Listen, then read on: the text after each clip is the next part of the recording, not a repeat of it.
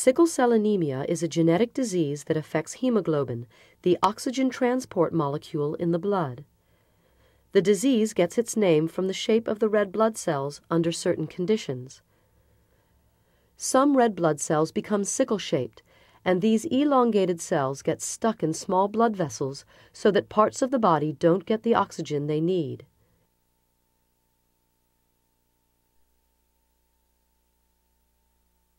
Sickle cell anemia is caused by a single code letter change in the DNA.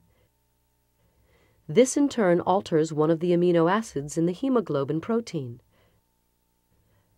Valine sits in the position where glutamic acid should be.